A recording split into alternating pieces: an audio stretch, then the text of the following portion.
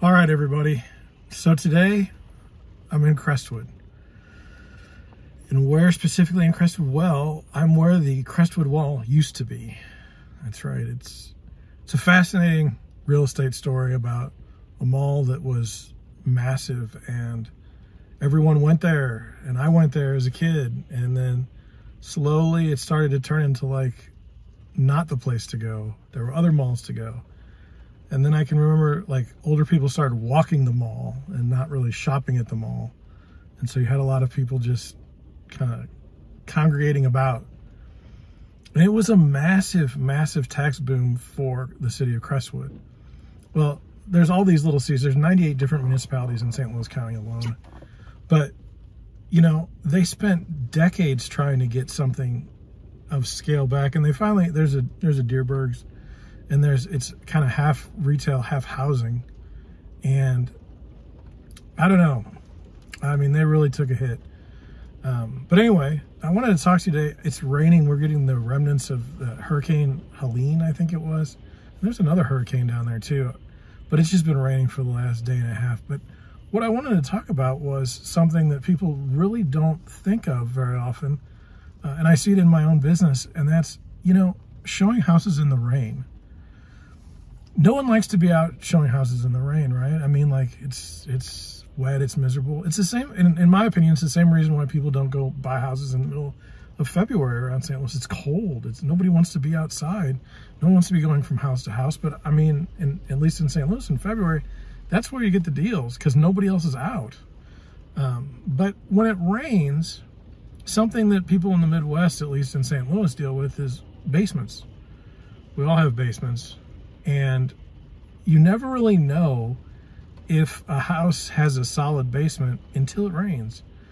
And I can't tell you the hundreds of thousands of people that buy houses every year that just the buy a house the, the disclosure says uh, it it the basement leaks but only when it rains.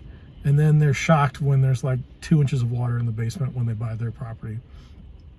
On flips fix and flips oh my god what a terrible idea to go buy a house where there's no disclosure and it's all fixed up because the first time you get a solid rain, I mean, you're just going to get just, it's just going to rain everywhere. It's going to be miserable. And so I actually like going to show houses when it's raining. I know that my buyers are committed because again, it's miserable. Like who wants to be out in the rain all day? Um, and then we get that secret uh, opportunity to just look and see in the, does the basement smell? Is it moldy? Is it is it like really really humid down there? You know, it's one thing to disclose. You know, the it, the basement leaks, but only when it rains. It's quite another. Like, what does that tell you?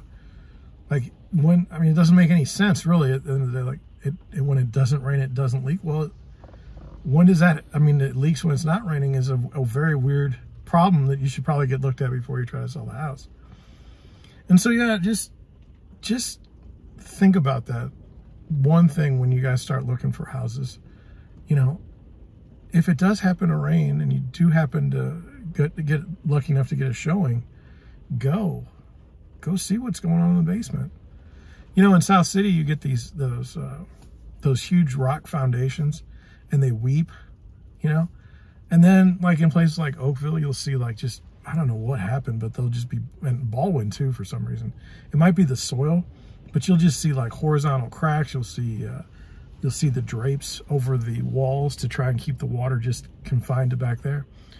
Uh, one of the things I always mention to my buyers is why do you need to live in that house? There's thousands of other houses that don't have that problem. Do you really want to be in a house that does? I mean, it doesn't, to me, it doesn't make any sense. Um, but I do what my buyers want. But anyway, just something to think about. If you're ever out, you know, thinking, oh, I don't want to go see houses today. It's raining. It's cold. It's wet. No, you should probably go. You should probably go. And plus, the, the fact that you're out there uh, as a buyer, I mean, the chances that you'll be able to write an offer and the seller's going to be able to take it uh, under consideration is pretty high because no one else probably went through the house that day. So just just one little tip for you. I hope I hope it helps you out at some point down the road. Um, thank you for watching. I'll, I'll check with you tomorrow.